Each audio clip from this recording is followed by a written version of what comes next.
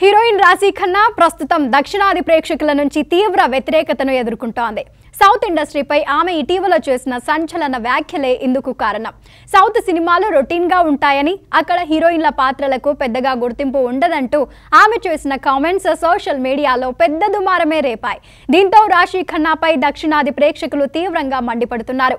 నీ కెరియర్లో ఎన్నో సక్సెస్లు స్టార్డమ్ ఇచ్చిన దక్షిణాది పరిశ్రమపై ఇలాంటి అనుచిత వ్యాఖ్యలు చేయడం సరికాదంటూ నెటిజన్లు ఆమెకు క్లాస్ పీక్తున్నారు. ఇక తనపై వస్తున్న వ్యతిరేకతను స్పందించిన రాశి ఖన్నా ఈ ఈ మేరకు ఓ ట్వీట్ చేసింది.